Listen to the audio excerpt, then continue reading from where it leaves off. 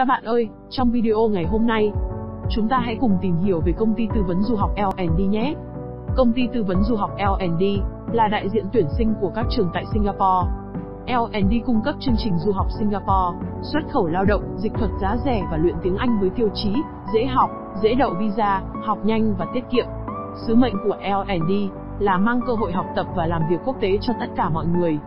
Đến với L&D, cho dù bạn là học sinh chưa tốt nghiệp trung học phổ thông, sinh viên đang học cao đẳng hoặc đại học, đã từng rớt visa du học nhiều lần trước đó, trình độ tiếng Anh còn hạn chế, quá trình học tập không liên tục và bị gián đoạn vì nhiều lý do.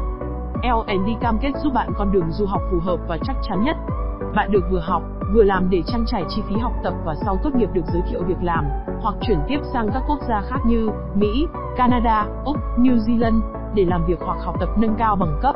L&D cam kết hỗ trợ và đồng hành cùng bạn trong suốt quá trình cho dù ở bất cứ nơi đâu. L&D cung cấp giúp bạn hoàn toàn miễn phí. Cho dù bạn chọn con đường du học việc làm hoặc con đường đi lao động quốc tế, L&D luôn đồng hành và giúp bạn cho đến khi bạn được cấp visa, khi đó bạn mới trả phí cho chúng tôi. Nghe thật hấp dẫn phải không nào? Vậy thì còn chần chờ gì nữa, mà không nhanh tay đăng ký tư vấn cùng với L&D để được hỗ trợ tận tình nhé.